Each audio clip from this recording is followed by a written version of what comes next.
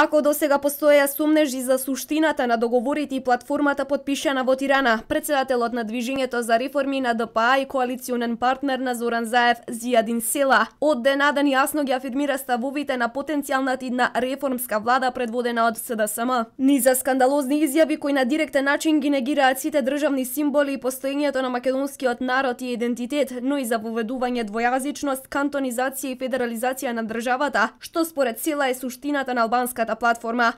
Dje mirë që Nikola Gruevski ka kuptu mesajin e platformës tonë politike.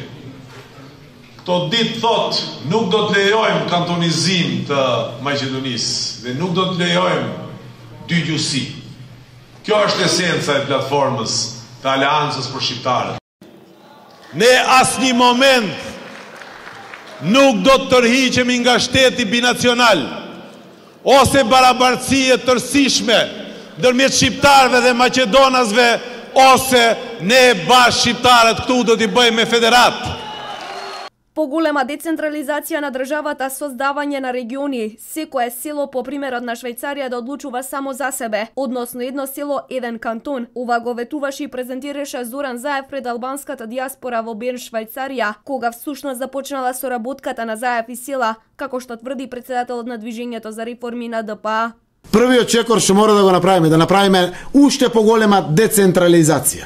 Да ги создадеме регионите, треба да бидеме растаретени. Дали има некоја делба по некој проценти или математики? Не. Гледам овде, едно село е кантон. И тоа село се одлучува овде за самото село. Лидерот на ВМРО да ДПМН Никола Груевски уште во предизборниот период за време на изборната кампања предупредуваше дека се подготвува сценарио за воведување двојазичност на цела територија и кантонизација на Македонија. Ние поминавме низ еден период на избори. Јас секојдневно во кампањата кажував дека а, дека се спрема сценарио, дека тоа сценарио веќе беше и започнато, но дека следува сценарио за на неколку чекори, за двојазичност, за напад на унитарноста на државата, кантонизации, и тоа го говоре секој ден. Многумина ме сватија сериозно и не подржаа. Некој од луѓето не ни веруваа. Мисля дека тоа го правиме само во кампања, затоа што сакаме да собереме гласови и да ги намалиме гласовите на ССМ. Но денеска, многумина од тие кои што тогаш така мислеа, почнуваат да мислат различно, затоа што гледаат што се случува. Почнуваат да се будат бидејќи сценариото продолжува да се реализира. Причината зошто Зоран Заев не отстапува од платформата и не прифаќа нови избори, според Никола Груевски, е заглавеноста на Заев во криминал. Причината зошто Заев не отстапува е многу едноставна. Причината е затоа што тој е длабоко заглавен во криминал, со многу конкретни случаи. Да го земеме случајот подкуп.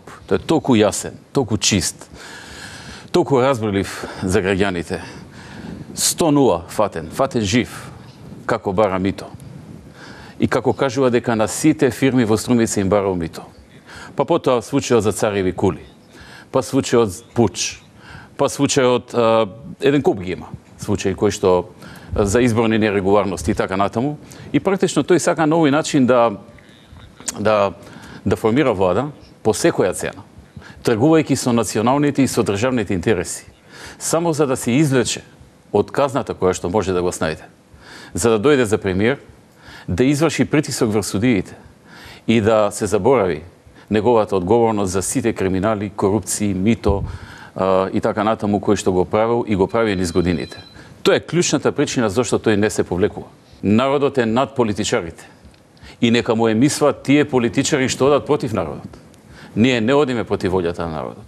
Тој што оди против волјата на народот и ги руши неговите интереси, реализирајќи интереси на друга држава, на, на други сили, тој нека му е мисли што може да го снајде од народот, ако вака продолжи да оди спротивно на неговата волја и да ги гази неговите желби и интереси.